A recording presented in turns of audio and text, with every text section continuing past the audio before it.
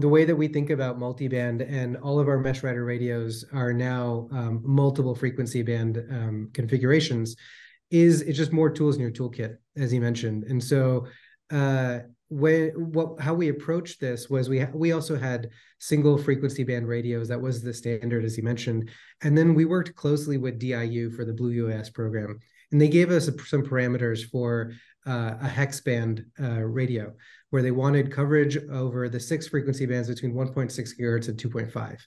um, they actually didn't need it to be in one single radio but we were able to do that with this um, mini OEM form factor in Helix Helix is our offering for for defense configurations or federal frequency bands. And so we also go down to L and S band and up to NATO C band in various configurations.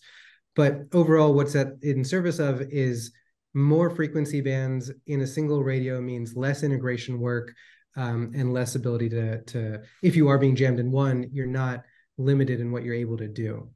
And that's also layering on top what we just recently announced um, and released, which is our Sense technology. Um, and that's where we started with multiple frequency bands and you had more tools in your toolkit. Now you're actually uh, able to actively um, use all of them by able uh, with Sense um, being able to experience interference on the data link and actually be able to uh, intelligently move to better performing channels within a frequency band or to other frequency bands altogether. And so specifically in terms of um, counteracting jamming, as, as we talked about, which is just noise on the link, we're able to move to better performing parts of a data link and you're just have a much wider highway basically with multiple lanes now um, to, to facilitate that, that better traffic.